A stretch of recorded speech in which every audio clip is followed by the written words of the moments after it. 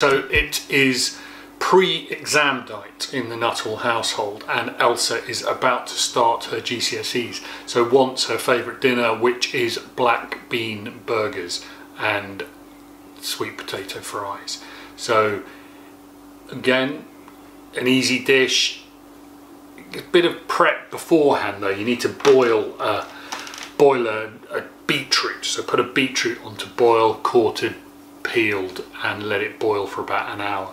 But other than that, easy peasy. So the first thing to do is get the sweet potatoes chopped into chips and get them on to roast. Sweet potato, don't need many. Leave the skins on, make sure they're washed, cut them into fry sized pieces, which are kind of like that. Some of these thinner ones don't have to have the peel on. Okay, so little lug of oil in a hot pan. Throw them all in. Hear it sizzle because it's hot. Don't burn yourself. Toss them around in there. Get them a little bit coated. What we'll also get going in there are these big portobello mushrooms and red pepper. Put them in.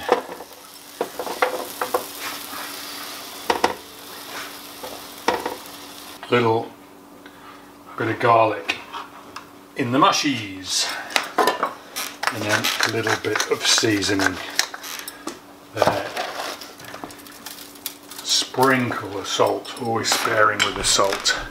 Stick them all in the oven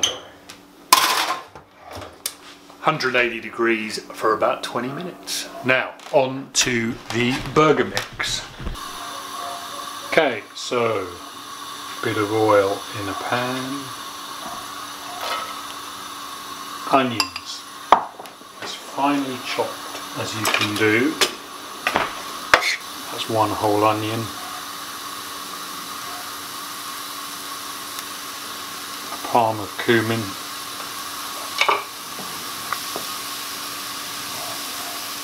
Another teaspoon of turmeric.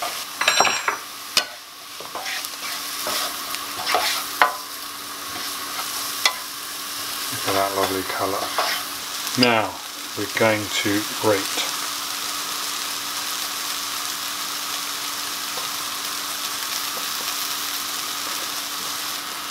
grate a beetroot onto your hands.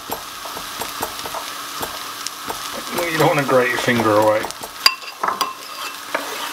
Chop up the bit that's left. Look at that, lovely.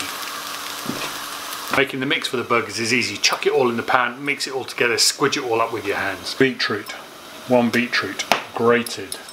Rice, this is leftover rice. So we put in about a cupful, a bit less, the black beans.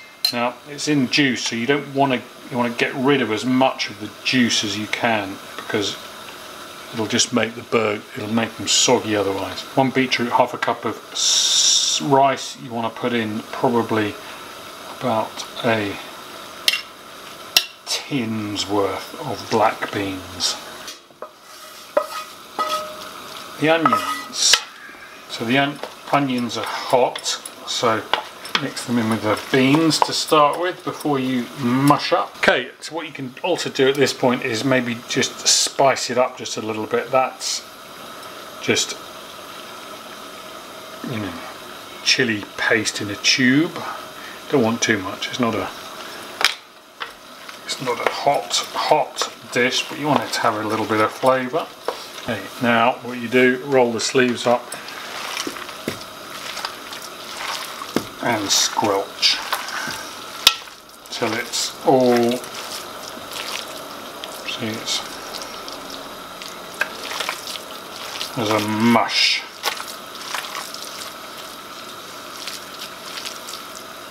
See, so that's much stiffer. See, it's holding its shape, and also we'll cool it a little bit now. Ideally, I mean, if you were super prepared, you'd have made these earlier, and you'd be they'd be sitting in the fridge because when they when they're cold, they hold their shape much more. But at the moment, that's good. Okay, so what we'll do now, we'll make the patties. So just put a little bit of flour on a plate, just so it doesn't stick, and just take up however much you feel you want to big you want to make them. Make them into a patty. Put them on the plate.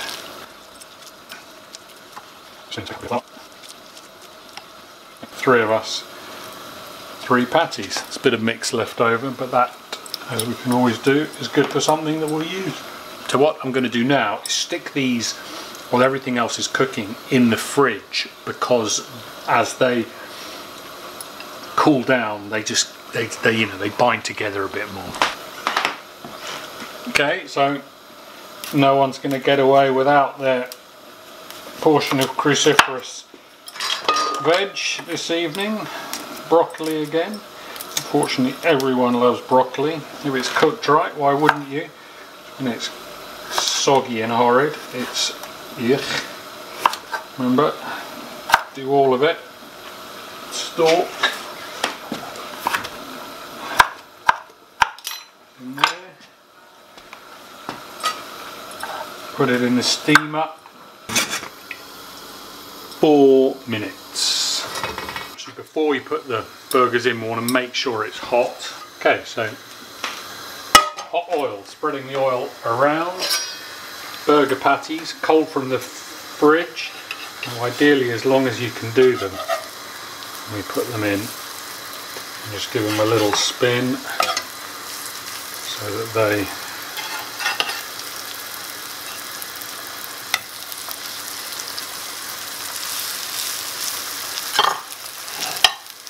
the oil. Get them cooking. Hear them sizzling? Leave them.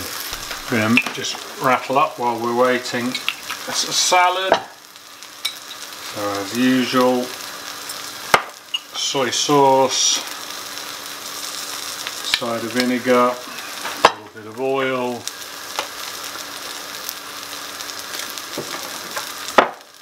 lemon, maple syrup and juice and capers.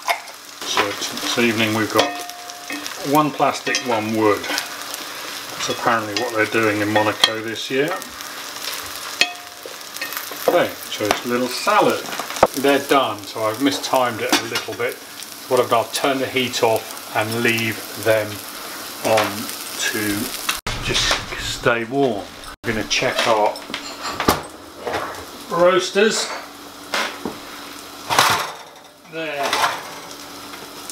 Looking lovely. All of those are cooked. So we can leave them on, turn the heat off. And now we've just got to wait for these to cook. In the meantime, have a little tidy up of your cooking area. Give them a little turn.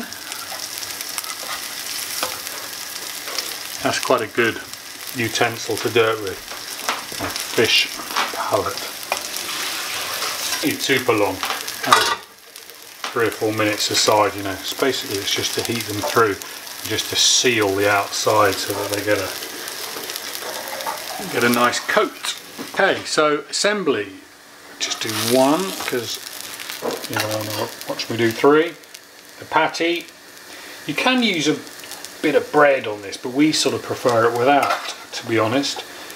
You can put a, you know, make a bun, or you can have a slice of toasted wholemeal, or a slice of toasted rye. So, bun, a bit of toasted red pepper,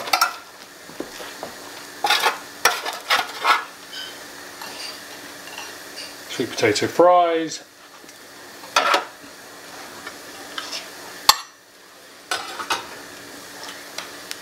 and the broccoli.